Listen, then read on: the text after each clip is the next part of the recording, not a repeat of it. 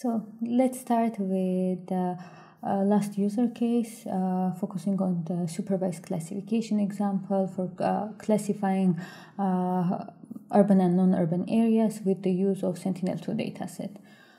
Um, let's again have a look at the uh, description of the dataset and see what kind of information we can extract when using Sentinel-2 data.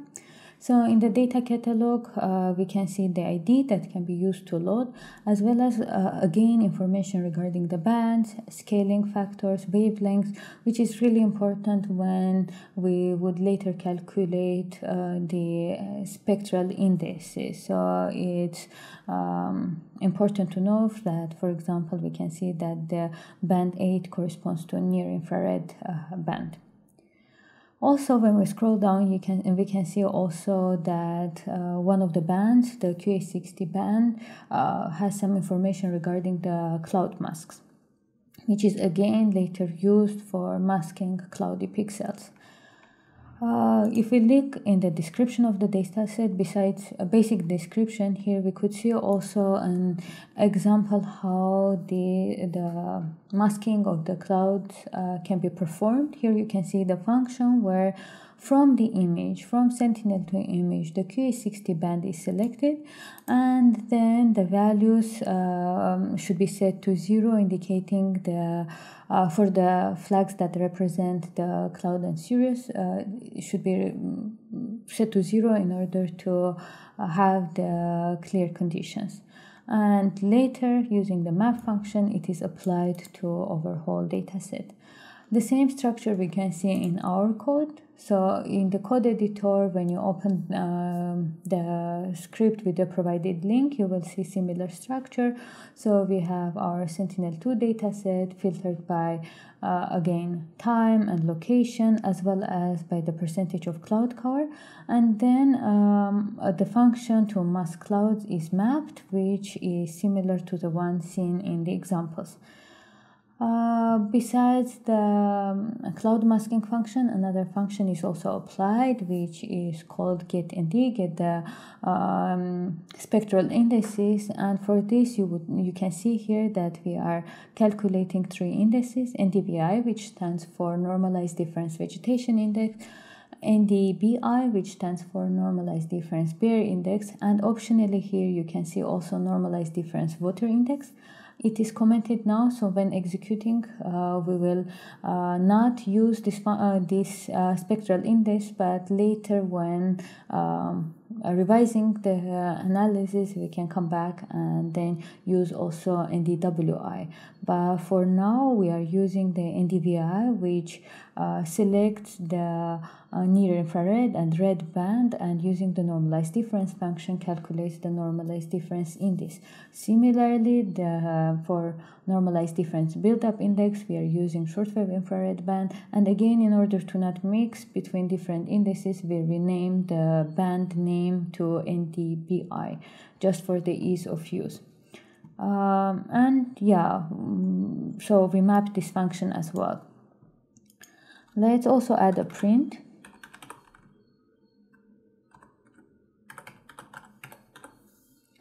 and run the script. We can see here our image collection which after filtering by uh, by date and time um, uh, and uh, by location we have only 87 images selected. And if we look at a random image and in the bands and properties we can see first all the spectral bands as well as we can see two additional bands representing NDVI and normalized difference buildup index. We can also see in the properties that we still have the time property. And these are similar for all the images in our image collection. We can also see the visualization for the study area. We can see that after the cloud cover, the image looks quite fine. And for our visualization here, we are using the mean. So basically from our 87 images, the mean was calculated and we can see the natural co color composite uh, for this mean image. So as an input for the classifier in general, we can have uh, one image or several images. That can be um, an image from selected from our image collection, but we also can aggregate this data using different reducers, such as the one uh, used for the visualization in order to capture um, information regarding the period of time for a specific area. So here let's calculate the median and maximum values over the time. So here we can see using the uh, maximum uh, reducer and then the median reducer uh, in order to later use uh, as an input in our classification. Uh, and here we use just the bands uh, function in order to um, add the calculated maximum uh, bands into this newly created um, image input which includes both the median and the maximum uh, and it includes all the spectral bands and the indices calculated so Lastly, before moving to the classification example, let's have a simple thresholding example which can also give us an idea regarding our input that we are using for the classifier. We already calculated NDVI and other indices and for example NDVI uh, is very sensitive to vegetation cover and the greenness.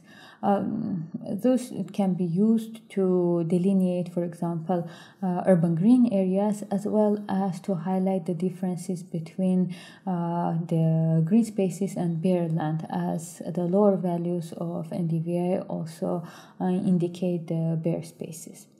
Uh, so here we can have a simple threshold to visualize on the uh, higher values of NDVI and apply this threshold selecting the band which is ND stands for NDVI and uh, clip for the region of interest which is just clipping over the study area over Berlin and use a very simple visualization using just one color.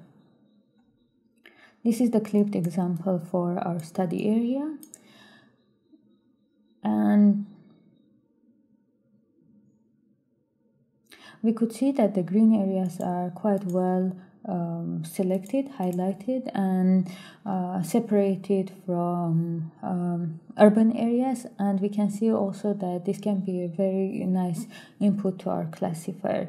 Similar thresholding can be applied also for other indices. So with uh, build-up index, um, we can um, uh, delineate only build-up areas or with water index water bodies uh, around the study area. But these uh, thresholds are um, somehow um, uh, different for different areas. So more automated method for classification is preferred